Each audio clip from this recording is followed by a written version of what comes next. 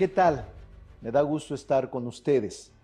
Mi reconocimiento a Adrián Sada Cueva por su acertada conducción del organismo y mis deseos para que Rodrigo Fernández Martínez continúe este trabajo y continúe de manera afortunada su gestión.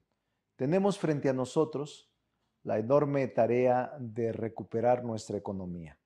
Luego de esta pandemia que impactó en todo el país, no solo en la economía, en lo social, sino fundamentalmente en el aspecto humanitario.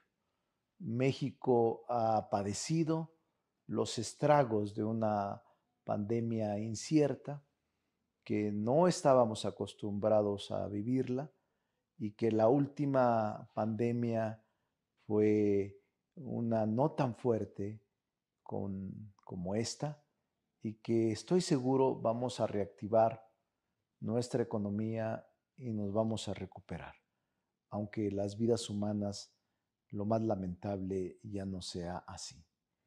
Eh, quiero expresarles mi agradecimiento por invitarme y quiero también poner a disposición el Senado como presidente de la Junta de Corrección Política. Eh, presidimos al grupo mayoritario eh, y hay una gran apertura, hay un gran trabajo y hay también sensibilidad para atenderlos por parte de todos los grupos parlamentarios.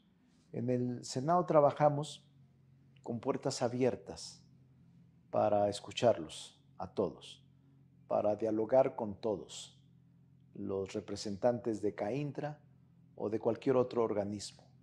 El propio Adrián Sada sabe que así es y que en varias ocasiones hemos coincidido en modificar algunos lineamientos jurídicos y en buscar la solución de estas nuevas normas jurídicas. Lo que deseamos es fortalecer el Estado de Derecho y que con el combate a la corrupción generemos certidumbre a todos los industriales, porque necesitamos que las empresas se desarrollen, necesitamos que las empresas se fortalezcan, necesitamos que ustedes tengan seguridad jurídica, que la inversión que ustedes desarrollen sea una inversión cuidada, en donde obviamente toda inversión obtiene ganancias y que nosotros estamos totalmente convencidos de que los industriales son fundamentales para el desarrollo del país. Les agradezco a todos que me escuchen, les agradezco a todos que estén aquí y les deseo éxito a la CAINTRA y le deseo éxito a cada uno de ustedes. Enhorabuena. Un saludo respetuoso.